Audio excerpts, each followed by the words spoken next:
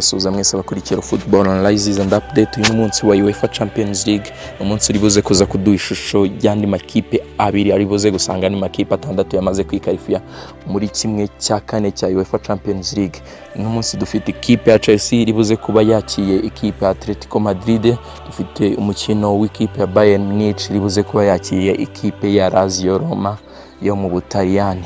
Ni imikino udakwiye kuza gucikwa. Ntabwo ndi buze kuza kuba ni njyenyine ndi kumwe n'umusesenguzi turi buze gufatanya. Shemi iyamuremye adere ari buze kudusesengurira byinshi biri kuri ino mikino ari buze kutubwira byinshi bivugwa mbere y'uko ino mikino iza kuza kubibe manjije kugusuza adere uno munsi wiri gute wawubonye gute?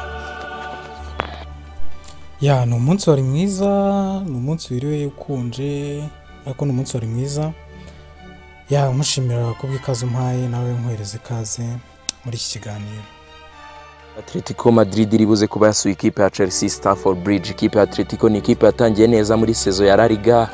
Ikina neza yanikira amakipe nka Barcelona ndetse n'ikipe ya Real Madrid. Bisanzwe bihanganira igikombe cya shampiyona ariko kugeza ubu ngubu ni ikipe irimo irasubira inyuma cyane ku rwego rukabije. Kugeza ubu ngubu aho yari yarasize amanota cumi n'ane ariko ubu ngubu hakaba hasigayemo amanota atatu yonyine. Ibinyamakuru byose byo muri Espagne byose birayishyiraho igitutu.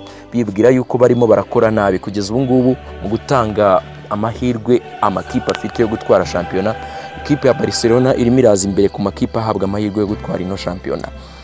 Ku bwawe urumva Atletico idakwiriye gupresiza igahitamo kwitwarira shampiyona? Ikareka Champions League kuko yo bigoye cyangwa ikwiye kurwana hose nize kujenjeka kuri uno mukino wa nimugoroba. Ah, oya njye ntabwo ariko mbibona. Ahubwo atletico madrid ikwiye gukomeza igafokasinga kuri la liga santander kuko ni ukuvuga ngo n'ubundi urebye kuri squad amakipe afite ukareba kuri efekitifu yayo ukareba kumenyera kwa shampiyona kwa diego simeone n'ubundi atletico madrid ifite abakinnyi bashobora gutwara la liga. Cyane ko barcelona nubwo yatangiye guhabwa amahirwe ariko n'ubundi muri uyu mwaka iracyari hasi ikipe ya atletico. Na real madrid ni uko. Atletico madrid agakwiye guprofita iki gihe. Aya makipe y'ibigugu ah, ya doropinze fomu mu gihe ari mu bihe bibi igatwara iyi la liga. Ah, iyi fomu mbi atletico irimo muri iki gihe ah, ndayishinja umutoza diego simeone ufite n'ubundi mikinire mibi ufite imikinire yo kubanza kudefanda kuruta uko ajya gushaka igitego. Bityo rero ah, bigatuma adakoresha ubushobozi bw'abataka afite ba Ousmane ba, Musa Dembele ba Luis Suarez ba Joao Felix ba Yannick Ferreira Carrasco bigatuma ahubwo ah, ataba exploitamo mu by'ukuri ijana ku ijana byabo. Kandi nanone ntabwo namushishikariza gufokasinga kuri UEFA Champions League cyane kuko n'ubundi amakipe arimo nubwo yakuramo Chelsea amakipe ari imbere arakomeye. Yego ari mu makipe afite abakinnyi bakomeye ariko Diego Simeone ni umutoza umaze kwerekana ko mu by'ukuri imikinire ye igoye kuba yagira igikombe muhesha. Ahubwo na- na- natangire areba hari amakosa menshi cyane mu ikipe ye ayakosore ariko afokasinga kuri La Liga cyane. Gusa nanone uyu mukino wo kwishyura ntabwo ari umukino twakwitwaza ko ari bube afokasinze kuri La Liga n'ubundi ni umukino ari we afokasinzeho kuko ubona ko kuri Atletico Madrid bari gushakira hose aho baba successful baba ariho ah, ba- bafatiraho. Gusa kugeza kuri ubu na UEFA Champions League iracyari mbisi ntabwo barayitera focus. Ikipe ya Chelsea yirukanye umutoza Frank Lampard ikazana umutoza Thomas Tuchel umukuye mu ikipe ya Paris Saint-Germain. Birasa nkaho ikipe ya Chelsea noneho yagira stabilite ibi birimo biraterwa n'uno mutoza wabo abakinnyi bamaze gusa nkaho bongeye gusubira ku murongo byasaga nkaho bataye ritme kuri iri joro. Umuntu yavuga yuko ari tesite iri buze kugaragaza ubushobozi bwa Thomas Tuchel kukarifiya ikipe ya Chelsea kuyirenza. Ikipe ya Atletico Madrid ifite experience. Nakita yuko ari nini muri ano marushanwa. Ikipe itagikunda kubura muri kimwe cya kane cyangwa kimwe cya kabiri cy'ano marushanwa. Kuri Thomas Tuchel ari buze kuba approve abakunzi ba football ndetse n'ikipe ya Chelsea yuko ari we mutoza nyawo wa Chelsea.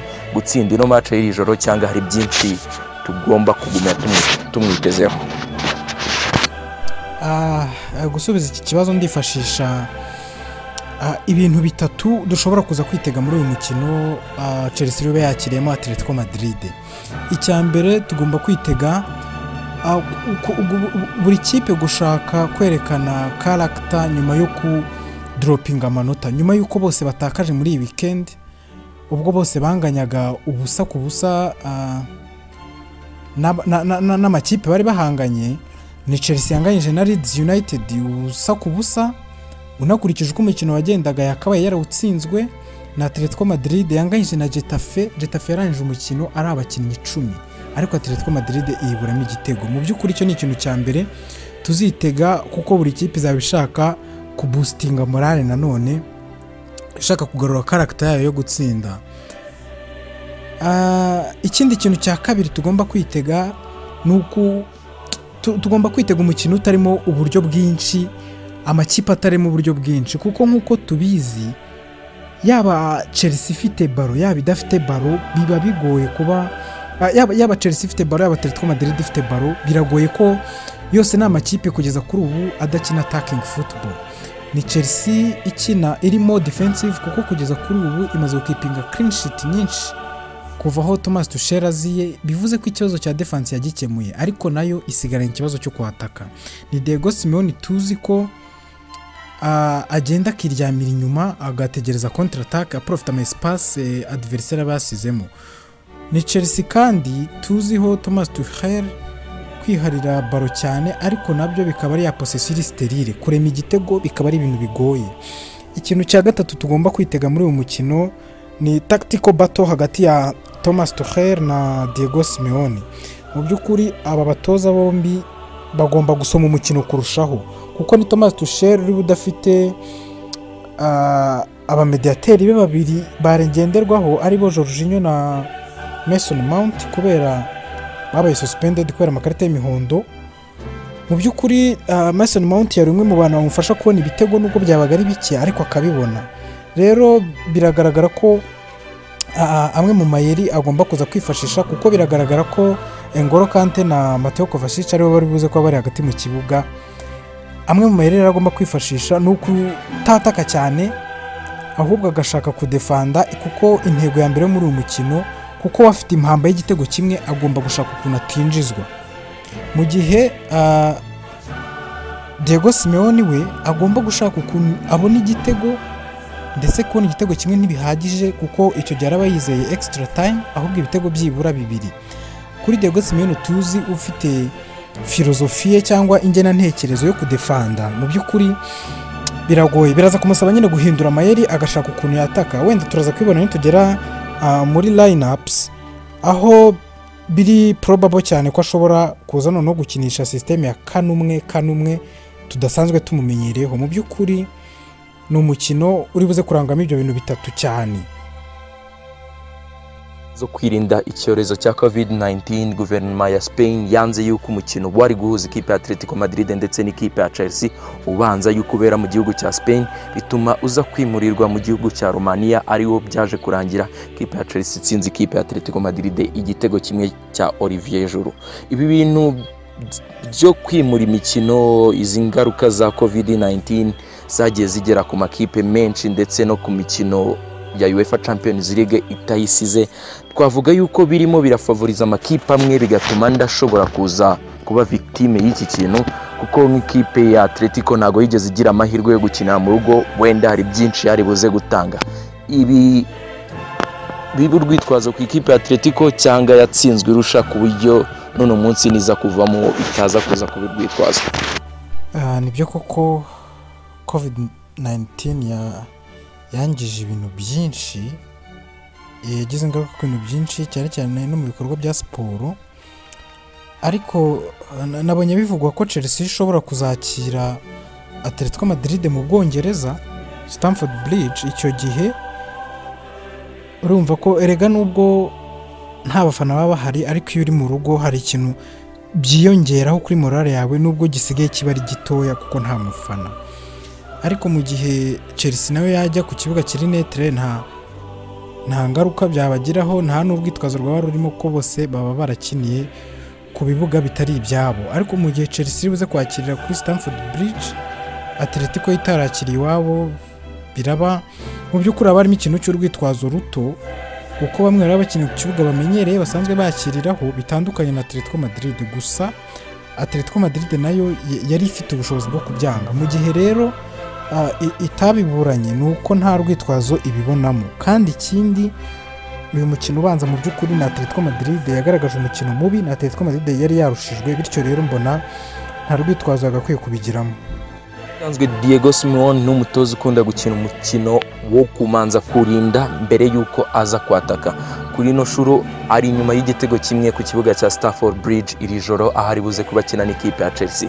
Uno munsi afite abakinnyi nka Joao Felix ndetse n'umukinnyi Suarez ukaza ugafata Dembele ukaza ugafata n'abandi bakinnyi bamukinira muri pozisiyo yo kwataka. Birakwiye yuko rino joro aza kuza kurinda akaza kuguma inyuma nk'uko bisanzwe abikora. Ntaze kwataka ku ikipe ya Chelsea. Byaza kuza kumuha amahirwe yo gukomeza cyangwa aze kuza guhinduka abe flexible mu mikino yiwe noneho yatake. Iri joro ramugiriye inama. Diego Simeone kugira ngo aze kuza kwikura kuri kiriya kibuga atambuka ajye muri kimwe cya kane kirangiza cya UEFA Champions League. Aha ni Diego Simeone turi kuvuga watsinzwe umukino ubanza mu rugo igitego kimwe ku busa.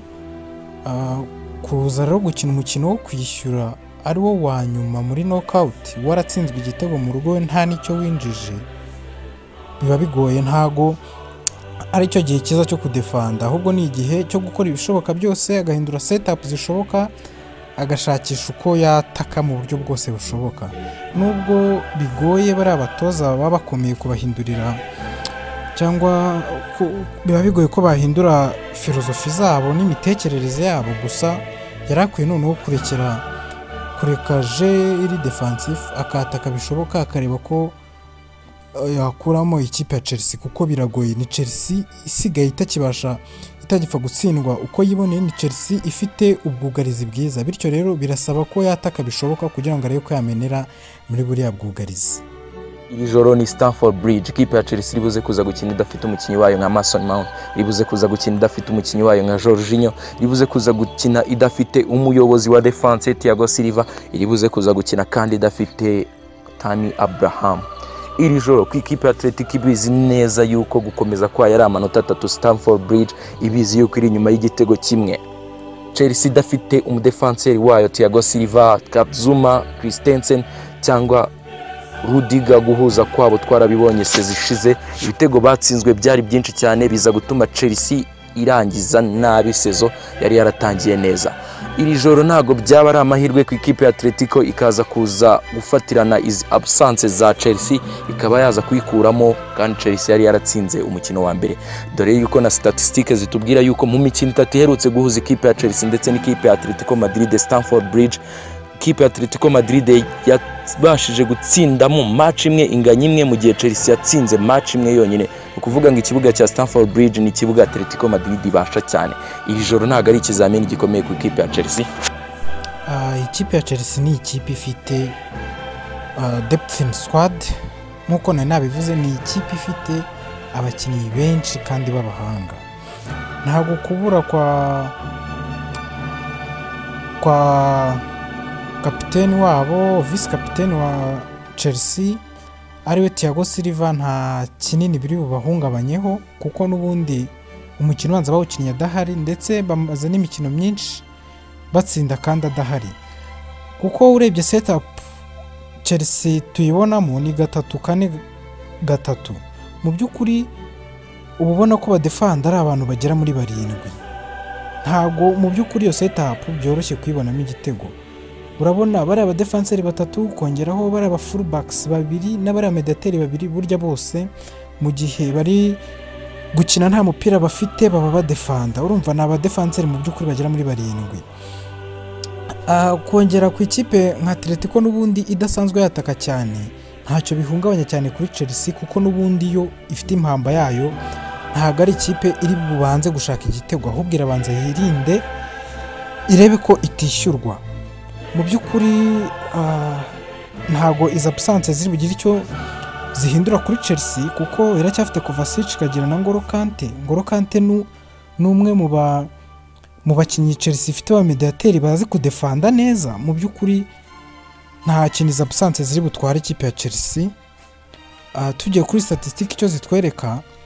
Zitwereka ko Stamford Bridge ari ikibuga cyorohera Atletico gusa Atletico Madrid na yo biraza kuyorohera ari uko ihinduye game plan. Ihinduye setup yabo bakajya muri game plan yataka agakoresha abakinnyi bari offensive cyane kugira ngo arebe ko yakuramo iyi kipe ya Chelsea. Bigoye kuko yo icyambere ishaka ni ukudatsindwa kandi imaze iminsi bitwereka ko gukipinga clean sheet ibishoboye cyane.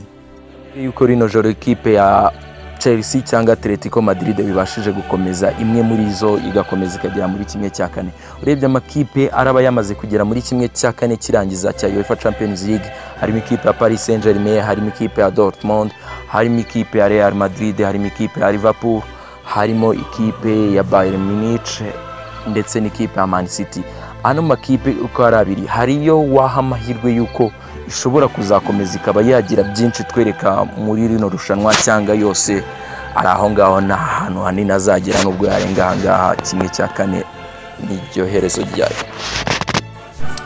Ah, mbere na mbere ngewe ndaha amahirwe ikipe ya Chelsea gukomeza kandi nkayihereza amahirwe yo kurenga kimwe cya kane kuko ni ikipe ifite umutoza umaze kumenyera irushanwa. Cyane ko noneho ndiheruka ari semifinaliste waryo. Mu by'ukuri ni, ikipe inafite abakinnyi benshi kandi b'abahanga bakomeye. Urabona ko bari kugenda bafitinga muri sisiteme ya Thomas Tuchel nk'umutoza mushya. Urabona ko mu by'ukuri ikipe ya Chelsea ndayihereza amahirwe menshi yo kugera kure kurenga kimwe cya kane. Byibura kimwe cya kabiri akaba ariho iviramo kuko nanone kugera kuri finale. Ntabwo irabigeraho cyane dore ko n'umutoza akiri mushyashya. Gusa kimwe cya kane ndayiha amahirwe yo kukirenga. Noneho shema uze unkorere line up uze no kuza kunkorera amatakitike ubona akwiriye gukoresha hagati y'umutoza Thomas Tuchel ndetse n'umutoza Diego Simeone. Ni izihe takitike ubona buri wese akwiriye gukoresha uh, sisitemu ujya ari buze kwarinya abakinnyi biwe muri ino match ya rino joro kugira ngo buri wese aze kuza kubona intego yo gutsinda ino match aze kuza gukomeza rino joro. Nurangiza uze kunkorera up use nkumuriza ano makipe yombi uko ari abiri ari buze kuza gukina rino joro maze ubundi uhita ukora prediction y'amarezilita ubona ashobora kuza kuva kuri bino bibuga. Ku bwanjye ndimo ndabona ikipe ya Atletico Madrid iza gutsinda ibitego bibiri kuri kimwe rino joro ikaza kwikarifu ya kimwe cya kane. Wowe sinzi uko ubibona ubibuze kuza kumbwira. Reka mpere ku ikipe iri biri mu rugo. Reka mpere ku ikipe ya Chelsea. Chelsea n'ubundi ni Chelsea. Doretse kubona muri weekend na Leeds yahinduye systeme doje twari tuyimenyereyemo. Ni Chelsea yakinaga kane ah, yakinaga kane gatatu gatatu urebye kuko ya- yatakishaga force nine nka Kai Havertz. Niwe wari uri ku icyenda gusa ndabona iriho ibikina noneho gatatu kane gatatu. Abadefanseri n'abandi tumenyereye ni Cesar Azpilicueta ni Christensen na Rudiger. Nkabona kuruwari y'iburyo iri bifitwe na Hudson Odoi wagize match nziza cyane ku mukino ubanza na Atletico kuko yabujije Joao Felix gukina. Ndetse nkabona mediane ni Kovacic na Kante kuko nta n'indi shuri ihari kuko Jorginho ntawuhari kandi na Mason Mount ntawuhari kubera amakarita. Nkabona Marcos Alonso afite kuruwari y'ibumoso umukinnyi wanagize uruhare cyane mu gitego cya Olivier Giroud match ibanza nkabona imbere ku icyenda hari Olivier Giroud n'ubundi cyane ko na Tami adahari nkabona Hakim Ziyech nka attacking midfielder ariko uri bube anyura iburyo nkabona na Kai Havertz nka attacking midfielder unyura ibumoso. Ni Kai Havertz umaze kugira umukino mwiza guhera kuri match ya Everton wakinnye neza cyane kuva icyo gihe akaba yaragaruye icyizere ubona ko ah, na Thomas Tuchel yiteguye kumuhereza icyizere mu gihe cyose arimo kumugaragariza kwitwara neza. Ah, ntatinze rero reka nkomeze ku ikipe iri bube yasuye ya Atletico Madrid. Iyi kipe ah, kugira ngo predictions wavuze zibeho ni uko igomba guhindura imitekerereze. Ni ikipe igomba guhindura na game plan yayo ikataka. Ndabona rero mu by'ukuri umutoza Diego Simeone ari bukoreshe sisiteme ya kane umwe kane umwe. Mu rwego rwo kugira ngo ave muri ya sisiteme yo gusitinga baka inyuma cyane ya kane kane kabiri. Noneho akoreshe kane umwe kane umwe kugira ngo yatake kuko mu by'ukuri arasabwa ibitego bibiri kandi ataninjijwe. Niyo mpamvu afite akazi gakomeye. Arasabwa ibitego bibiri ku busa kugira ngo yizere gukomeza cyangwa kimwe ku busa kugira ngo bajye muri extra time.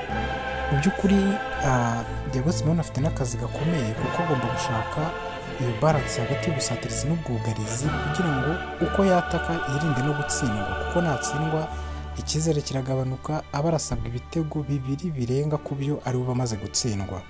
Bityo rero ndabona ari abadefanseri bane ni Trippier wagarutse wavuye mu gihano cy'ibyumweru icumi ni Jimenez na Savic mu mutima wa defense ni Renon Rodi kuri gatatu ni Koke uri bube ukina nka Sentinelle nimero gatandatu. Ni abane bari imbere ye ni Angel Korea Marcos Llorente umukinnyi wo kuza kwitega cyane umwe mu bakinnyi n'umutoza Thomas Tuchel yatangaje ko ah, ah, agomba kwitaho cyane kuko ah, Marcos Llorente afite serivisi atanga mu gufasha Luis Suarez mu maprofonderi ariko nawe ubwe afite ubushobozi bwo kwitsindira. Ni Llorente uri kumwe na Saul Niguez na Joao Felix abo ni bane. Bari inyuma ya Luis Suarez uri gukina Ron Striking. Ariko uh, Angel Korea na Joao Felix ndetse na Marcos Llorente basabwe kwegera Luis Suarez kugira ngo ziriya premier baro ari badeviya zibagereho vuba babashe gukina iyo deuxième baro bayideviye mu mpande cyangwa bamuhereza izo profondeur nihuse rero kuri prediction uh, ndabona ari draw ni igitego kimwe kuri kimwe ariko Chelsea ikaza gukomeza kubera igitego yatsindiye hanze. Aggregate ikaba bibiri bya Chelsea kuri kimwe cya Atletico Madrid. Urakoze cyane shema. Ikindi kintu abafana bamenya cyangwa abakunzi b'umupira w'amaguru bamenya muri rusange mu mikino itatu ikipe ya atletico madrid yakinnye n'ikipe ya chelsea stamford bridge. Ikipe ya atletico madrid yatsindiye match imwe inganya indi match yatsindirwa indi match. Umutoza thomas tuchel mu mikino cumi n'irindwi yakinnye ari mu rugo mu mikino ya uefa champions league knockout stage yatsinzwemo imikino itatu indi yose aba afitemo amanota. Ikindi wamenya ikipe ya atletico madrid ni ukuvuga ngo iyo yatsinzwe umukino wa mbere iba ifite byibuze amahirwe mirongo itanu ku ijana yo kuza gukomeza muri rawundi ikurikiyeho. Indi kipe iba ifite amahirwe menshi cyane mu makipe mirongo irindwi n'abiri yitabira uefa champions league. Ni ikipe ya reme byibura yo iba ifite amahirwe mirongo itandatu na gatatu ku ijana y'uko ishobora kuza kwikarifiya muri rawundi ikurikiye ikindi kintu wamenya ni uko ikipe ya chelsea mu marushanwa cumi n'atatu yakinye muri uefa champions league yatsinze umukino wa mbere yawutsinze yarikarifiyaga ku mukino wa kabiri ntabwo yajyaga ivamo. Iramutse itsinzwe rino joro ikavamo yabigaruye amateka yo mu gihumbi kimwe magana cyenda ibwo yatsindwaga n'ikipe ya barcelona ikaza kuba ivamo. Iri joro ni umukino udakwiye kuza gucikwa. Ndumva byinshi tugerageje kubicamo uko byari bingana ndumva tugerageje kureba byinshi byari biri inyuma y'ino mikino ndumva twagarukiza ahangaha ibindi tukabiharira iminota mirongo icyenda. Wakoze cyane shemi ya muremedere mwakoze mwese abari bakurikiye football analysis and update. Ibi ni ibihoraho bigaruka buri munsi ikiganiro gihoraho buri munsi.